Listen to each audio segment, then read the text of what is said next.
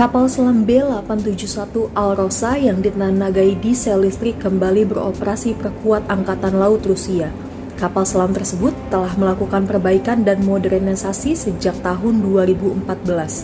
Kapal selam diketahui alami kecelakaan pada tahun 2009 silam saat masih milik Angkatan Laut Ukraina. Dilansir dari bulgarimilitary.com, kapal selam ini dioperasikan oleh Angkatan Laut Ukraina pada 13 Maret 1992. Tapi kapal selam tersebut tertangkap musuh karena kekurangan baterai. Pada akhirnya, Rusia memulihkan kapal selam tersebut dan melakukan perombakan besar-besaran. B-871 Alrosa adalah kapal selam kelas kilo yang sudah berusia 32 tahun. Perbaikan dilakukan secara bertahap mulai dari tahun 2014.